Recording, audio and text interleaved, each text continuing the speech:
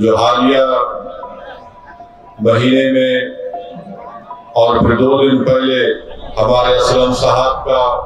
जो गोपालगंज में उनकी हत्या कर दी गई, उनका कत्ल कर दिया गया और फिर सीवान में आरिफ जमाल साहब को भी उनकी हत्या और कत्ल कर दिया गया। मैं आज आपके दरमियान में खड़े होकर इन दोनों पसमानदगान और इनके खानदान से न सिर्फ़ इजहार ताजियत उनको पेश करता हूँ, बल्कि मैं उनके परिवार को, उनके अफराद खानदान को, उनके चाहने वालों को और सीवान और गोपालगंज के अवाम को ये बताना चाहूँगा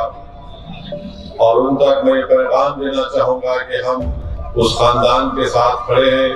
असलम साहब के वारिफ जमाल साहब के और मलिस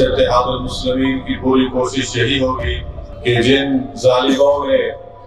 असलम साहब को आरिफ साहब का कत्ल किया, अल्लाह सुबहाना उन तमाम खातरीन को अल्लाह उनको नाबूद करे